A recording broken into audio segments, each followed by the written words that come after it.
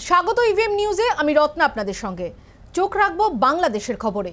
বাংলাদেশে নির্বাচনী প্রচার শুরু করেছে জাকের পার্টি। গাজীপুর চার কাপাসিয়া কেন্দ্রে জাকের পার্টির প্রার্থী হচ্ছেন ডক্টর জুয়েল কবির। ইভিএম নিউজকে প্রচার সম্পর্কে তিনি বিস্তারিত জানালেন। বাংলাদেশের আগামী সংসদ নির্বাচনে গাজীপুর চার কাপাসিয়া কেন্দ্র থেকে জাকের পার্টির প্রার্থী হচ্ছেন ডক্টর জুয়েল কবির। সাংবাদিকদের তিনি জানিয়েছেন দেশের জাতীয় সংসদ নির্বাচনের প্রচার শুরু করে দিয়েছে জাকের পার্টি। নয় জুন পর্যন্ত মোট তিনশোটি কেন্দ্রে জাকের পার্টির নির্বাচনী প্রচার চলবে।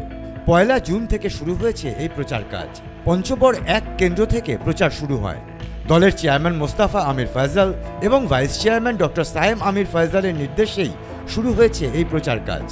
তিনশোটি কেন্দ্রেই প্রচার চলাকালীন জনসংযোগের ওপর বিশেষ জোর দেওয়া হয়েছে। প্রার্থী ডক্টর জুয়েল কবির বলেছেন জাকের পার্টির ভাবধারাই হল মানুষের প্রতি ভালোবাসা। এই দলে যারা থাকবেন, তারা সকলেই সর্বশক্তিমানের করুণা পাবেন। তাই বাংলাদেশের সব মানুষকে জাকের পার্টির পতাকার তলায় আসার আহ্বান জানালেন ডক্টর কবির। সকলকে আন্তরিক মোবারকবাদ এবং জাকের পার্টির প্রতীক, ভালোবাসার প্রতীক, পবিত্র গোলাপ ফুলের শুভেচ্ছা। জাকের পার্টির মাননীয় চেয়ারম্যান সাহেবের পবিত্র হুকুম মাথায় নিয়ে এবং জাকের পার্টির সম্মানিত মাননীয় সিনিয়র ভাইস চেয়ারম্যান সাহেবের পবিত্র হুকুম মাথায় নিয়ে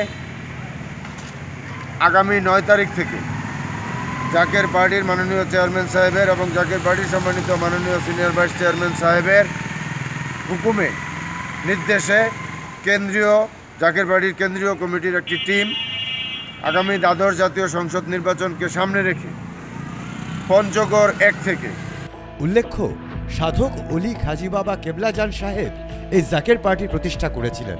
কট্টর দক্ষিণপন্থী না হলেও মধ্য দক্ষিণপন্থী দল। ইসলামিক ও সুফি ভাবধারার মিশ্রণই এই দলের আদর্শ। উনিশশো উননব্বই সালে এই দলটি তৈরি হয়। উনিশশো একানব্বই সাল থেকে নির্বাচনে প্রার্থী দিতে শুরু করে। তবে উনিশশো ছিয়ানব্বই এবং দু হাজার চোদ্দ সালে এই পার্টি বাংলাদেশের জাতীয় সংসদ নির্বাচন বয়কট করেছিল। বাকি প্রতিটি নির্বাচনেই এই দল দুশো থেকে তিনশো আসনে প্রার্থী দিয়েছে। Bureau report EVM news Bangladesh.